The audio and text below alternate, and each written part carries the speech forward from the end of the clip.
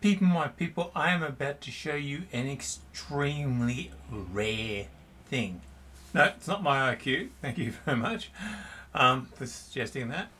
um, what I'm about to show you is a bottle, an intact, a whole, and unopened indeed, bottle of Imbue Distilleries Brandy Custard Liqueur. This I bought last Christmas.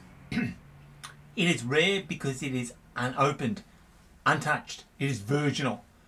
And the reason why I'm waving this around, because this was sold to me before Christmas, is because Mick made about a thousand of these and they just flew out the door. They went faster than a Concorde. They were faster than a naughty thought. They just vanished. Mick could not make enough of them. So, I'm not going to drink this online. I'm not stupid. I'm at this stage. I appreciate quality. This is a truly delicious brandy custard liqueur made by a man who is truly interesting. My friend Mick. Brother after my own heart. Someone with a liver at least as large as mine. So I'm saying to you, what you should do now is um, contact Imbue Distillery and say to them, look, um, I'm rather impressed.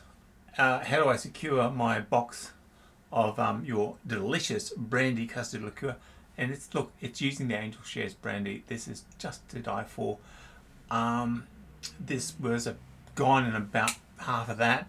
In my house, we had it with ice cold milk, full fat milk, of course, because I don't do that light stuff. Um, I was tipping it over custard. In fact, I was just putting it cold and I was just tipping it to me.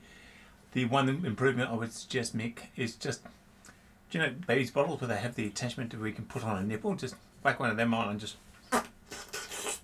that's it. I would drink it if my mother's taste mother's milk tasted this good. I would never have weaned. And I'm saying to you, go and pre-order it because you don't want to miss out on something this delicious. It is delicious, people. It makes all the exotic versions, Bailey, Irish cream, all that stuff, as good as what they are. This basically shits all over it.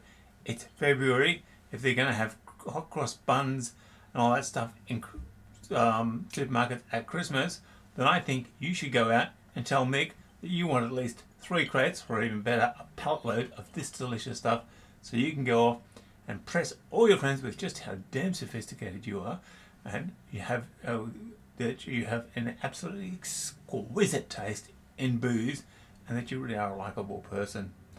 All the above, pick one. Um, get it now. The brandy custard liqueur from Imbue Distillery. It is 500 mils. It is 15%. It is sheer fucking magic. All yours now. Tell Mick I want to make it a gigaliter of it this year. Actually, it's easier, better if you just buy crate that way. It's just so much easier to carry. This is Imbue's Distillery. Go and contact them. Tell them you want to be in on that list so you don't have to miss out in 2024. Uncle Odin has just done a service to you hit that subscribe, like, share buttons, and just stay news.